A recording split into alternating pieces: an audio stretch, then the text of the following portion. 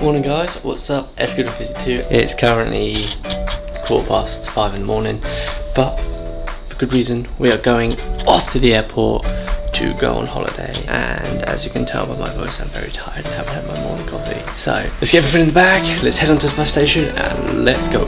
Woo.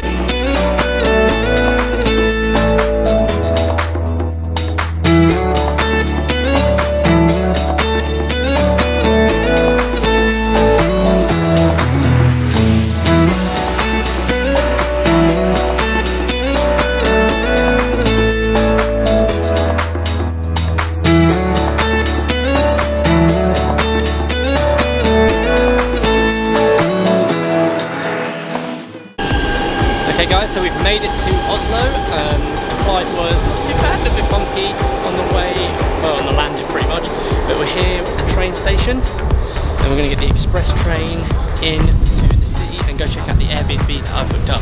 So, um, see you later.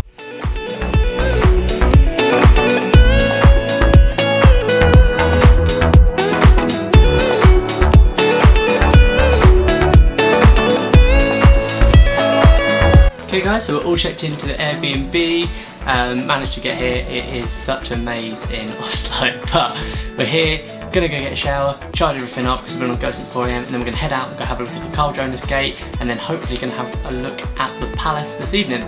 So that's my itinerary for today, let's go check it out. Boy!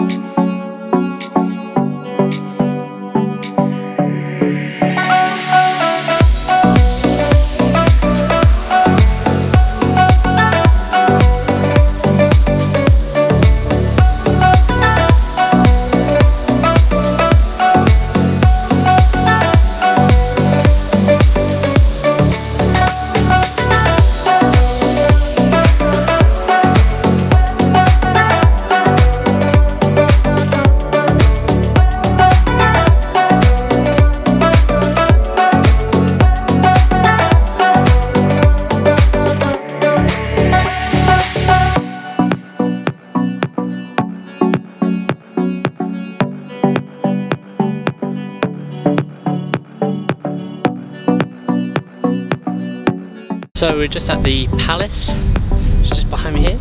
There we go. We're just walk around the gardens and it's pretty nice. It's pretty nice. The weather's pretty good, so I've got lucky. Apparently it's gonna rain all weekend. Weekend, it's the middle of the week, Steve. but yeah, it's looking pretty good so far. Everyone keeps saying that uh, Norway's really expensive. I just popped to a shop, I managed to get like a chicken panini, a chocolate bar, and a bottle of Coke, all for like nine quid, so pretty good. That's like Costa prices, being from the UK. So can't complain with that. On to the rest of the city.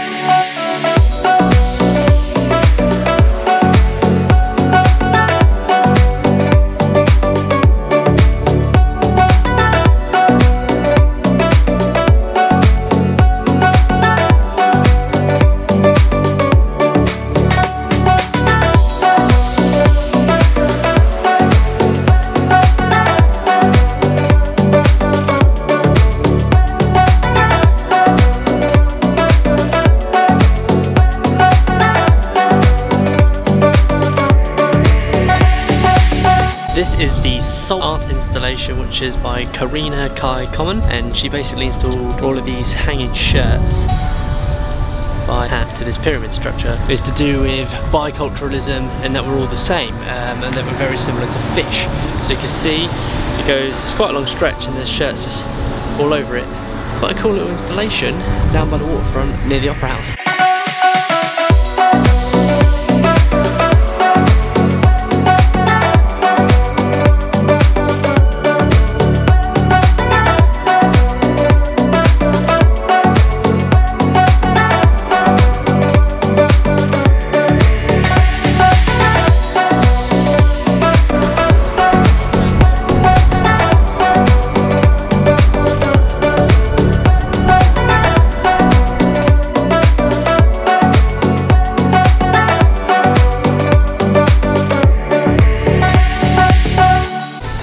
Climb the top of the Opera House and you get this amazing view of the fjord which is like the giant body of water just there. Uh, while up there they were filming a uh, some sort of interview on TV so it might be in the background of that. It's beautiful in Norway, absolutely loving it. Um, now they've got these little electric scooters all over town so guess what I'm going to do?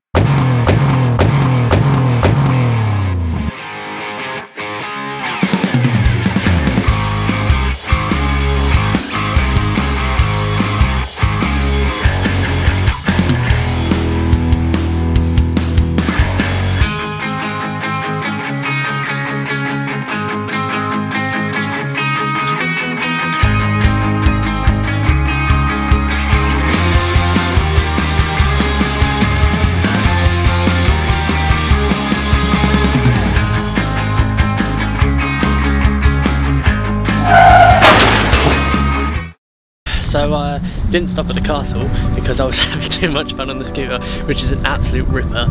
20 kilometers an hour, so that's like 15 miles an hour. Jesus Christ, that was so much fun.